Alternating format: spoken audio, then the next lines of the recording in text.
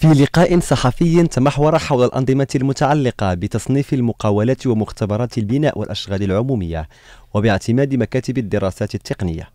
تم التأكيد على أهمية تكريس هذا التوجه على المستوى الجهوي واستحضار الإصلاحات العديدة المعتمدة والمتعلقة بالتحيين الشامل للمراسيم الحالية.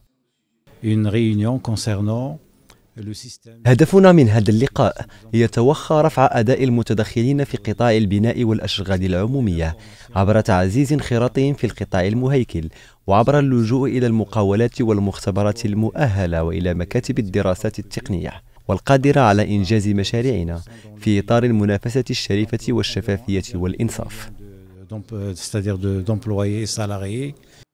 وأكد متدخل الجمعيات المهنية على أهمية ضمان تعاون وثيق وصحي في هذا المجال. مؤكدين اقتسامهم لرهانة الارتقاء بالأنظمة المنظمة لقطاع البناء والأشغال العمومية.